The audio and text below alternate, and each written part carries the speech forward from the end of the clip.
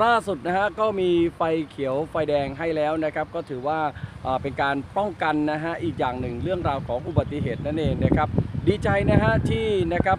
ทางภาครัฐนะฮะหรือว่าหน่วยงานต่างๆนะฮะที่เข้ามาดูมาดูแลนะฮะ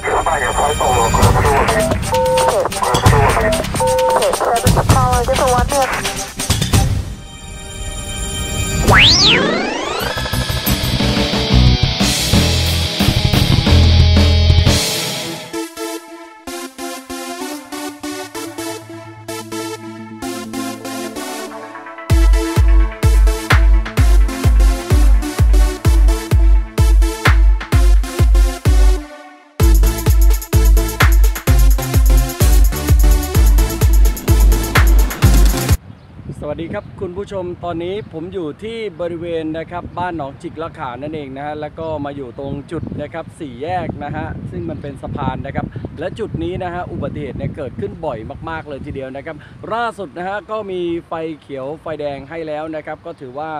เป็นการป้องกันนะฮะอีกอย่างหนึ่งเรื่องราวของอุบัติเหตุนั่นเองนะครับดีใจนะฮะที่นะครับทางภาครัฐนะฮะหรือว่าหน่วยงานต่างๆนะฮะที่เข้ามาดูมาดูแลนะฮะได้